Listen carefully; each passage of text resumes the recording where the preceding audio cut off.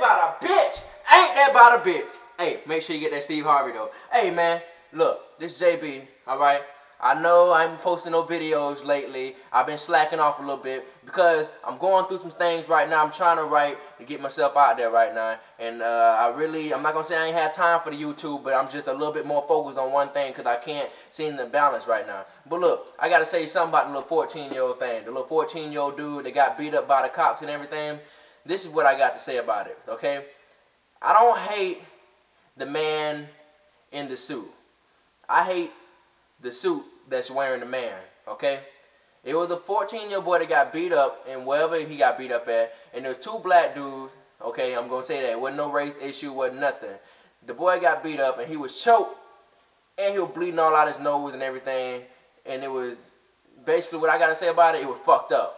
It was real, real fucked up. Because one thing that I can't stand is when people abuse their power. It's a little 14-year-old boy. He ain't even past 110 pounds. I'm 145 pounds. And these two black niggas about 250 and under. Okay? Between that ranges of 2, 220 and 250. But it's one thing I got to say about it, man. Like, you really you really can't get mad because it's life. But again, I can get mad because I can't stand people that abuse their power. You know what I'm saying? And honestly, what do I have to say about it? I can't stand the fucking police. No, I don't like the police. I think it should be cops for cops. For cop, for cop, for cop. You know what I'm saying? I don't think they should be the only cop telling niggas what to do.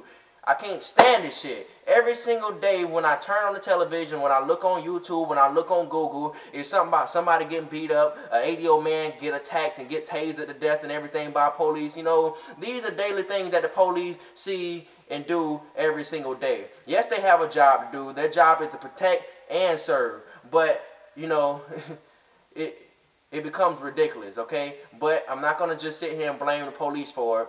Because we don't know what the 14-year-old boy did. But the way his face looked, that was fucked up, man. Come on, man. You got to be real, real serious about that. That was real, real fucked up. I want y'all to look at that link, okay? When I'm finished with the video, y'all go ahead and click it. Y'all go ahead and click it. You know what I'm saying? But, uh, yeah. That's all I got to say about it. Everybody got a job to do. Just don't abuse your job and don't take your job too serious, okay? Because it's not worth it. Even if somebody is acting like an asshole, just, come on, man. Just do your job, man. I ain't got nothing against the man inside the suit. I just hate when the suit wears the man. That's all I got to say. JB, holla at you. I'm going to be back on the scene. Yeah.